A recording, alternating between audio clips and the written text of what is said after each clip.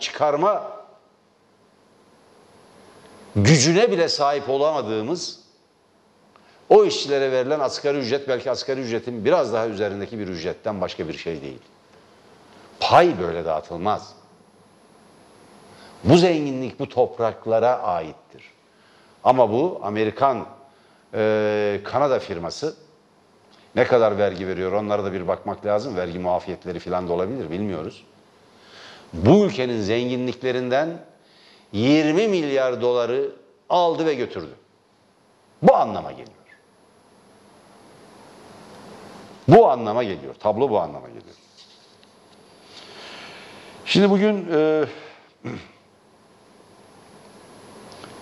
bölgede bazı siyasiler var. Bizim arkadaşlarımız var. Tele1 olarak orada ekip bulunuyor, bulunduruyoruz. Ankara büromuzdan bir ekibimiz orada. Gönül ve Cemal arkadaşlarımız orada. Kameraman arkadaşımız Cemal, Gönül arkadaşımız, muhabir arkadaş, muhabirimiz. Bölgeden yeni ve son gelişmelerle ilgili bilgileri veriyorlar. Şimdi Cumhurbaşkanı Erdoğan'ın e, Kahire gezisi, Sisi ile ilişkilerine geçeceğim. Ben tekrar Emre Hoca'yı sorayım. Arkadaşlar Emre Hoca geliyor mu? Bilgi aldık mı? Peki, peki. O zaman arkadaşlarımız 5 dakika içinde burada olacağını bildiriyorlar. Ben devam edeceğim değerli seyirciler. Bir olay var, bir olay var. Gazetelerde ufak ufak haberler yer alıyor. Biz de bu haberleri girmeye başladık. Ben okudum, gördüm. İlginç olaylar var. Koç o, Üniversitesi e, Hastanesi'nin önünde e, 30 Ocak e, gecesi e, bir e, otomobil bırakılıyor. İlk önce şeye geliyor, e, acil servise kadar geliyor, sonra geri dönüyor, orada 4 saat kadar bekliyor, daha sonra araç park ediliyor ve şoför bırakıp gidiyor. Sonra bu araçta bir ceset olduğu ortaya çıkıyor. Bir kişi yeraltı dünyasında e, tanınan büyük bir ailenin e, mensup olan bir kişinin araçta öldürülmüş halde yani elleri, e, kolları ve bacakları kırık ve kafasında da iki ağır yaranın e, kafasının arkasında iki ağır yaranın bulunduğu e, ve hayatını kaybetmiş bir kişinin cesedine ulaşılıyor e, ailesi tarafından. 10 gündür, 15 gündür hiçbir ses seda yoktu. Garip bir biçimde. Polis nasıl bir soruşturma sürdürüyor? Savcılık konuya el attı mı? Bunlar bilinmiyordu. Çakıroğlu ailesi ki e, adı geçen e, kişiler işte Fuat Çakır, e, Hasan Çak, Fuat Çakıroğlu, Hasan Çakıroğlu, kardeşi Ayhan Çakıroğlu gibi kişilerin adları geçiyor. Bunlar iddialar. Yine bu haberlerde yer alan iddialar. Fakat biz bu isimleri biliyoruz. Bu isimleri gazeteciler bilir. Bu isimleri yeraltı dünyası bilir. Bu isimleri siyasette yer alan bazı kesimler de bilir. Bunlardan biri Hasan Çakıroğlu, ki aranıyor şu anda firar etmiş galiba. İstanbul MHP İl Başkan Yardımcısı. Fuat Çakıroğlu daha önce e, Kalamış e, Marina'da Susurluk döneminden tanıdığımız Ziya Bandırmalıoğlu ve e, yanında yine bir eski polis memuru olan bir kişinin öldürülmesi olayıyla e, tanınıyor. Hocam hoş geldiniz buyurun. Hoş bulduk. Hoş bulduk.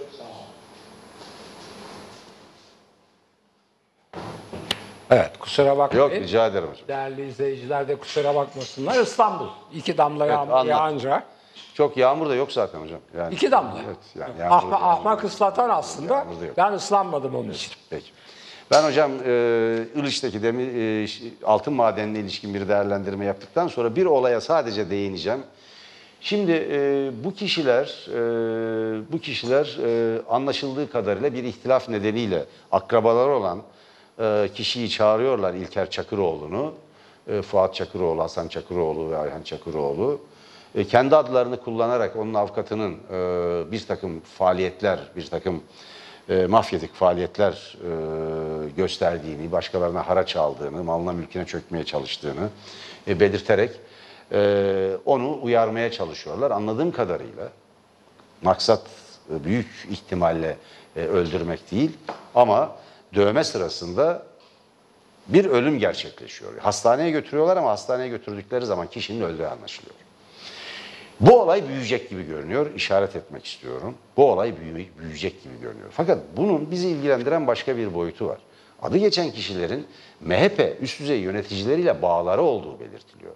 Bir tür Sinan Ateş cinayetine benzeyen bir atmosferin oluştuğu anlatılıyor.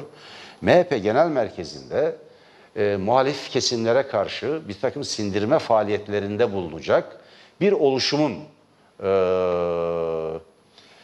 kotarılmaya çalışıldığı, gerçekleştirilmeye, bir oluşum e, yaratılmaya çalışıldığı, bunun başında ya da bunun içinde de Fuat Çakıroğlu ve kardeşlerinin bulunduğu, yerel seçimin öncesinde ya da sonrasında muhalif kesimlere yönelik e, bazı e, eylemlerin, bazı sindirme girişimlerinin, bazı susturma girişimlerinin olabileceğine dair de bir iddia ortalıkta dolaşıyor. Şimdi bu iddia ne kadar gerçektir, ne kadar gerçeği yansıtıyor bakacağız bunu. Ama bunu e, Tele1 izleyicilerine e, hafızalarının bir yerlerine not etmeleri için bu kadarını söylüyorum. Bu konunun üzerine giden gazeteci dostlarımız var, arkadaşlarımız var. Onlar konuyu yakından izliyorlar. E, bir gün gazetesinden e, Timur Soykan arkadaşımız, yine Sözcü gazetesinden İsmail Saymaz arkadaşımız, Kısa Dalga adlı internet sitesinden Ce- Cengiz Erdinç gibi arkadaşlarımız bu konunun üzerine gidiyorlar. Biz de e, Tele1.com.tr'de konuyu takip etmeye çalışıyoruz. Ama iş büyüyecek, belki işin siyasal ayağına kadar yani siyasi partilere kadar uzanan bir derinliğinin olacağı anlaşılıyor. Böyle bir kaza ve kaza sonucu bir ölüm belki ya da bir cinayet neyse bunu soruşturma ortaya çıkaracaktır.